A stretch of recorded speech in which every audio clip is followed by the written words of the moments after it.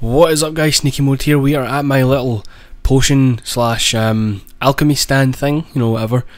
Um, so today I'm actually going to show you how to make um, a type of potion you can actually use against enemies, against mobs.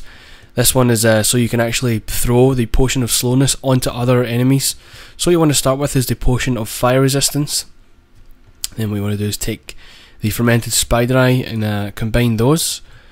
Uh, we'll just let it do its thing and I'll be back in just a second. Okay, that's done. So now we have the potion of slowness. And with that you want to take the gunpowder. This is obviously a new feature of 1.9 pre-release 4. We'll let this do its thing and I'll be back in a second. Okay, now we have the splash potion of slowness that lasts for a minute and seven seconds for some reason. So now you can see it's actually got a different icon, um, different from the bottle, which is like that. So let's take this potion of slowness splash version there you go, there what it looks like in game.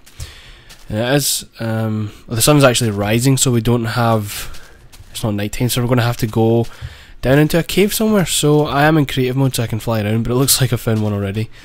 Okay, here we go, I've actually found a spawner.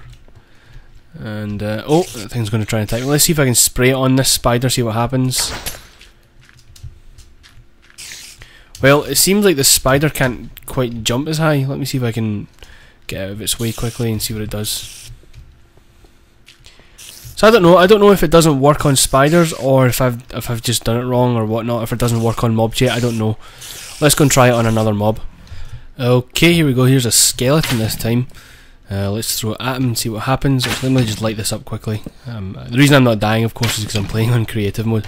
Anyway, let's throw this potion of slowness splash. Now let's see. Oh, it looks like it has like an area of effect type thing. Hmm. So I, I, it seems like it's affecting me as well. I'm actually kind of moving slower. So it must be you just throw it and it has an area of effect. So you can see the particle effect around me as well. Seems to be affecting me, but hmm, I don't know. Can't really tell. But there you go. That's um, the throwable potions.